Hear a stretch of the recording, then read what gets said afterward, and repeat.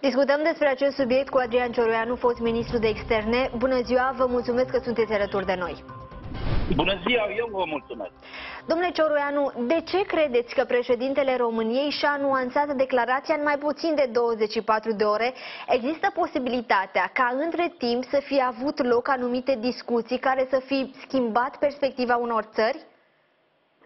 Pe de o parte, într-adevăr, trebuie să acceptăm faptul că președintele României este probabil omul cel mai informat din, din această țară și uh, e posibil să fie informații uh, pe care să le cunoască înaintea altora. Pe de altă parte, cred că oamenii politici, în situația actuală, sunt oarecum obligați să dea astfel de mesaje aparent contradictorii pentru a nu li se întâmpla ceea ce i s-a întâmplat ministrului de interne, domnul Bode, care mulțumea în ianuarie omologului austriac pentru a vedea în noiembrie că omologul austriac de fapt era împotriva aderării României și sigur ministrul nostru de interne, domnul Bode, a fost pus într-o, într-o situație puțin frustrantă. Deci aceste mesaje și într-un sens și în altul date de președintele României îl pun oarecum politic, îl pun la, la adăpost. Pentru că oricum se va întâmpla una dintre variantele despre care vorbea. Cât de mare credeți că este probabilitatea să se decidă o amânare cu privire la votul din Consiliul Jai? Adevărul e că totul seamănă cu un meci de fotbal, că toți suntem în timpul campionatului mondial. Seamănă cu un meci de fotbal care înțelegem că se joacă până în ultimele minute și domnul uh, Mureșan ne spunea că următoarele două săptămâni sunt uh, capitale. Eu eram uh, relativ uh, optimist în legătură cu ziua de 8 decembrie, dar au fost atât uh, de, de multe mesaje care ne-au mai temperat, să zicem, așteptările. Ideea în sine este că nu ni se refuză aderarea la spațiul Schengen. În cel mai rău caz pentru noi ar putea fi o eventuală amânare. Sigur că am fi la rândul ne frustrați dacă, eu știu, Croația bună, ar, ar intra înaintea noastră cu argumente sau uh, fără, depinde cum uh, vedem problema, dar ceea ce contează e decizia care se va lua acolo. Într-adevăr, e, e posibilă o amânare, dar uh, e, e, e jumătatea plină a paharului aceea că într-un orizont de timp uh, România va fi cu siguranță membra a zonei Schengen. Eu încă sunt optimist pentru 8 decembrie și sper să, să ne lămurim în zilele următoare.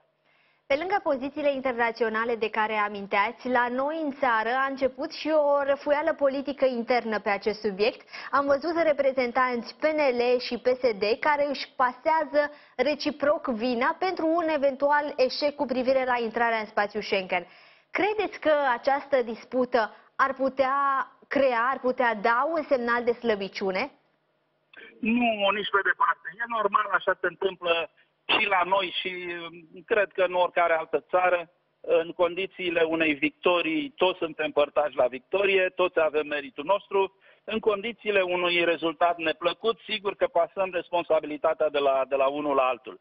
Dacă va fi uh, bine uh, și Partidul Național Liberal și Partidul Social Democrat uh, se vor felicita sau autofelicita pentru această victorie a României, dacă nu va fi bine, sigur că fiecare va arunca vina spre celălalt, USR va arunca vina spre cele două, sau UDMR uh, își va aduce aminte de alte lucruri și uh, până la urmă, într-un fel, cred că românii înțeleg faptul că totdeauna suntem uh, uh, uniți la victorie, dar suntem uh, ceva mai cârcotași în cazul rezultatelor nefericite. Uh, nu e niciun semn de criză, este doar uh, uh, încercarea fiecăruia de a pasa responsabilitatea politică pe umerii celuilalt în cazul unui uh, eșec uh, de etapă.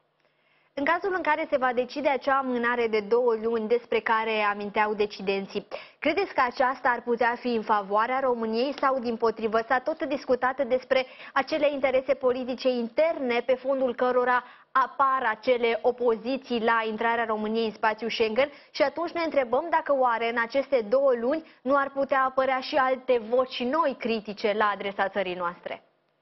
O, da, aici aveți dreptate. Eu sunt convins și invit pe toți cei care ne, ne privesc uh, să, să mediteze dacă nu cumva ce se întâmplă are mai curând legătură cu situația politică din țările respective decât cu ceea ce se întâmplă în România.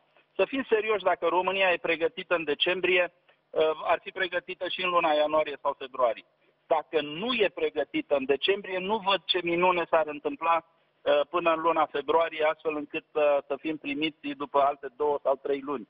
Cred că, de fapt, ceea ce contează e calendarul politic din țările care se opun, interesele guvernelor de acolo, al partidelor de opoziție, vezi guvernul olandez sau vezi opoziția din Suedia, ne mai vin și vești neplăcute, cum a fost ministrul de interne austriac, sau vești plăcute astăzi. Se pare că vice-cancelarul austriac ar susține aderarea până la urmă, inclusiv a țării noastre. Deci e un fel de, de ping-pong al declarațiilor care, sincer, eu nu am impresia că țin de maniera în care România merită sau nu să intre în spațiul Schengen.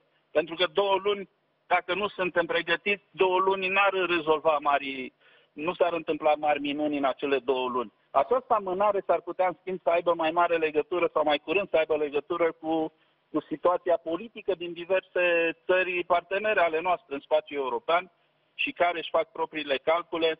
Altfel, situația la noi în două luni nu se schimbă niciodată. Vă mulțumim foarte mult, domnule ministru Adrian Cioroianu, fost ministru de externe al României.